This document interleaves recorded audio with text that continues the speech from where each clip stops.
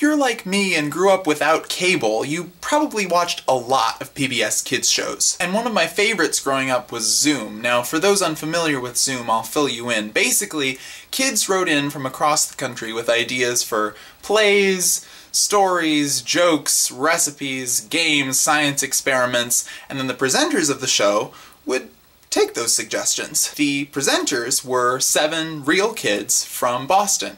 And watching that show as a six or seven year old, my dream was to move to Boston and become a Zoomer, and then basically my life would be complete. But there are a lot of segments from Zoom that I still remember. Like, I remember one time they tried to figure out how many dots there were on a basketball. We also tried a few of the recipes. They did an ice cream recipe once, and I think my cousins and I made it. But the thing I remember most about Zoom is Fannee Doolee. For those unfamiliar, Fannee Doolee was a reoccurring puzzle. Fannee Doolee was a woman who liked apples but not fruit. She liked soccer but not sports, sweets but not candy. She was inscrutable until you figured out that all her likes and dislikes could be explained by one simple rule. And the struggle to understand Fannee Doolee is the struggle of growing up. Okay, let me explain.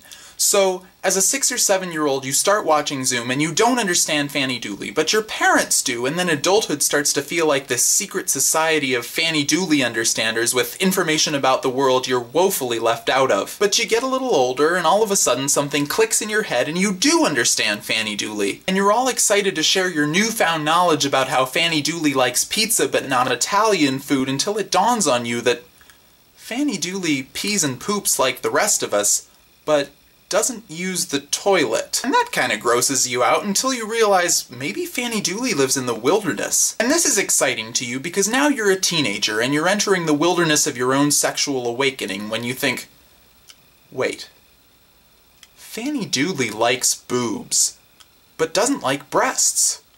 Why do you think that is? And you figure, well, she's queer but not lesbian, and that strikes you as being really progressive. Until you realize that she likes marriage but not dating. And now you're an adult, and you realize that Fannee Doolee, like you, contains multitudes, although she would disagree and tell you she contains cells and stuff. You also realize that you've single-handedly ruined Zoom for a generation of viewers, and it's time to crawl back into your cave now and go away.